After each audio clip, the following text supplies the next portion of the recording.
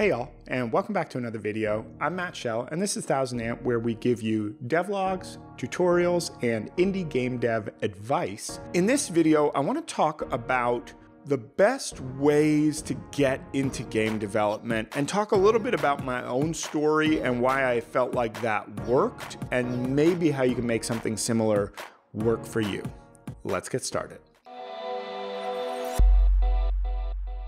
All right, so a little bit of story time. So I wanted to make video games for since I was about 15. I tried to learn C back when I was 15. I studied a little bit of C++. I tried to learn the Torque game engine at some point when that was a thing. Taught myself HTML. I really tried many, many different times to learn programming, learn game development over the years, but back in those times, there just wasn't a easy enough way for me to get started until Unity came along. And this was maybe about six years ago now that I kind of got over the first hump of being able to actually use Unity a little bit and actually make something and that was kind of the thing that allowed me to build some momentum and get going, right? I was doing that for about a year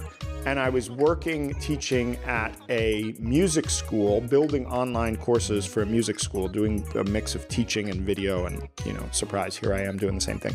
And I actually saw that Unity had a job offering online for someone doing tutorial videos for their YouTube channel, and they said must have uh, popular YouTube content and kind of like basic Unity knowledge or something. I was like, well, I've been using Unity for about a year. I was terrible. but I actually did have popular YouTube tutorials about music production. If you want to go look those up, you can look up Matt Shade Tech Logic tutorials, which is kind of entertaining.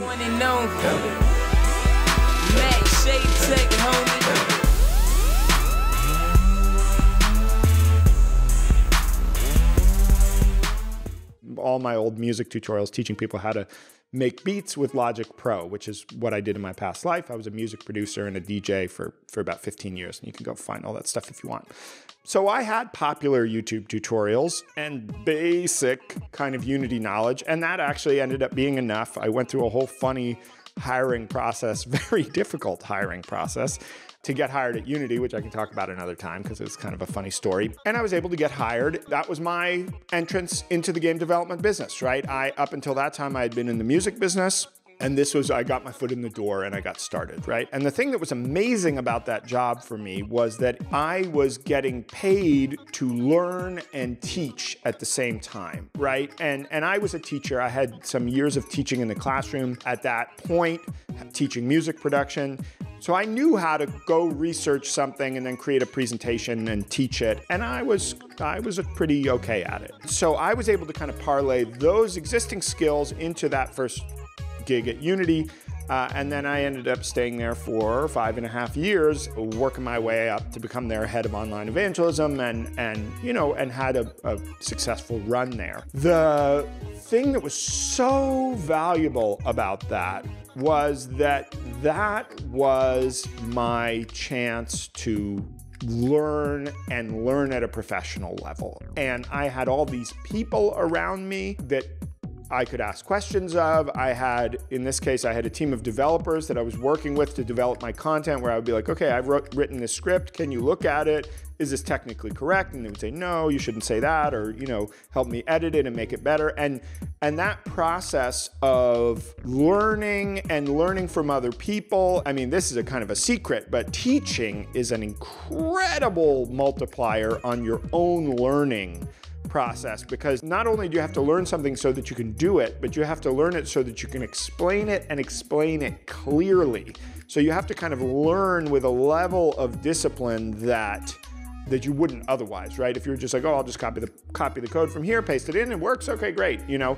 Whereas if you have to teach it, you know somebody's going to ask some question like, well, what about this? And you're like, oh, I don't know. That experience of learning, teaching, working with other people, just massively accelerated my learning kind of trajectory. And I also at that time was making a solo indie game project uh, called Monarch Black which I never finished, which is a kind of a whole big story in and of itself, and I'm pretty sad about not finishing it. But it was that experience of working at Unity during the day and collaborating with a lot of other developers to, to, to get better, and then going and trying to make my game at night, which was pushing me off into all this other areas of, of learning development that I wasn't getting during my day at work.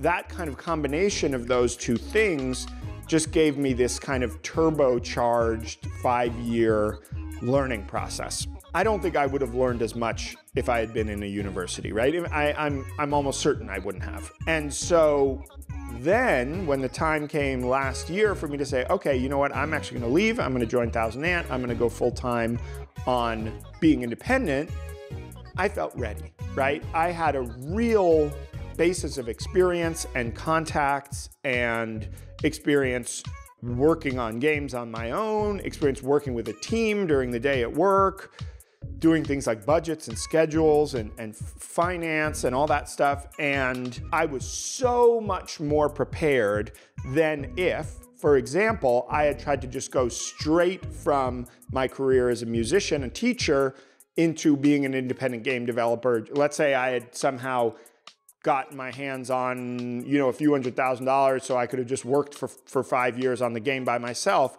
I am almost positive I would not have learned the amount of stuff that I did. And the game probably still would have failed because, and that is what happened, that the production of that game failed because I was learning and doing at the same time. And I just didn't know anything about software architecture. I didn't really know anything about game design. I just didn't know anything about anything. And I was trying to make a kind of a full size project.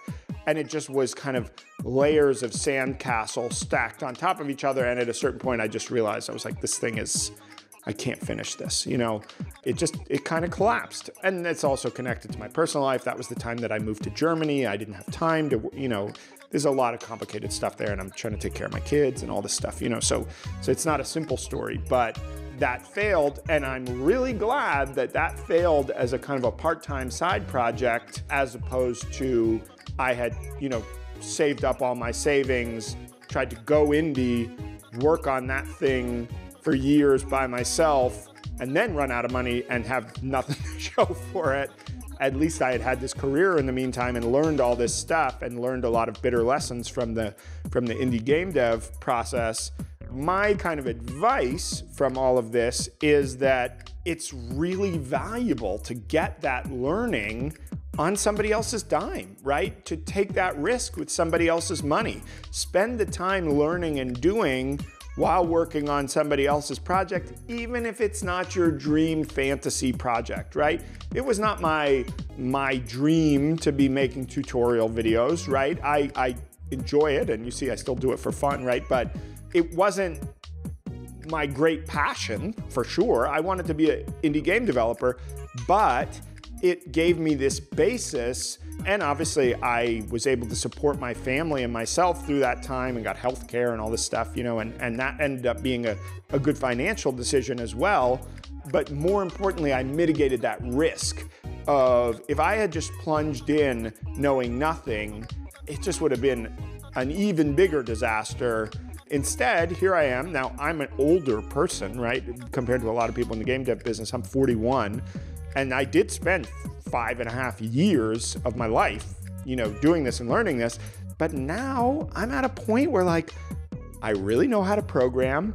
I really know something, not everything about the, the game technical pipeline, right? Making games in Unity, specifically in Unity, right? And I also learned a bunch of business skills like budgeting and planning and financing uh, that I just I didn't know when I was a musician, right? So being able to learn all that stuff and to get paid to do it was really of an incredible value, right? So I think this is also kind of a thing. It's like, what is your long term goal? What is your time horizon for getting there? For me, I kind of knew I was like, yeah, I'm going to do this for a couple of years, get better, and then go independent, which is which is what I've done, right? And and I'm and that's that's work. There were some bitter moments and hard lessons along the way, but but really it's it's kind of worked for me and that's why i feel comfortable to kind of share it as a piece of advice to say look especially if you're just coming out of school or you're just getting into the industry take at least a couple of years to work for somebody else even if it's not really the most exciting amazing perfect fantasy job just do it and you'll learn a bunch of stuff that you can then take and apply to your own stuff. Ho- hopefully this will save one person from, you know, driving themselves into a ditch. You know, let me know in the comments down below. What does this resonate? Am I wrong for this? Did I waste my time? Is, should I have just jumped in with both feet at the beginning? What do you think? What are you what are your plans? What are you going to do, right? Are you trying to do this? Let me know. Drop a like on the video if you liked it. Please consider subscribing if you're not already. And as always, thanks so much for watching, and I'll see you in the next video. Bye.